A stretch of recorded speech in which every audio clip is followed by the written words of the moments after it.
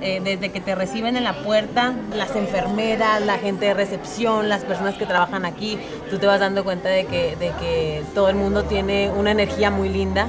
La manera en la que tratan a los niños, en que los reciben, cómo los atienden, cómo les hablan, los hacen sentir en casa y yo creo que eso es lo más importante, que existan personas que te tiendan la mano, que te ayuden, que te permitan enfocarte en ti. Yo creo que eso es lo importante y lo bonito de, de toda esta comunidad de San Juan.